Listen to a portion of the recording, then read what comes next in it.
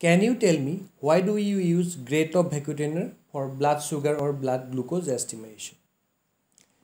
Gray top vacutainer or fluoride vacutainer contains potassium oxalate as an anticoagulant which prevent blood clotting and sodium fluoride which is an additive. Glucose is the main energy source of red blood cells.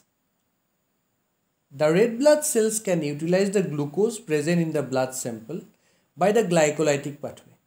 As a result, the glucose level in the blood sample will be reduced. To inhibit the glycolysis, we use sodium fluoride. Enolase is a glycolytic enzyme. Sodium fluoride will inhibit the action of enolase.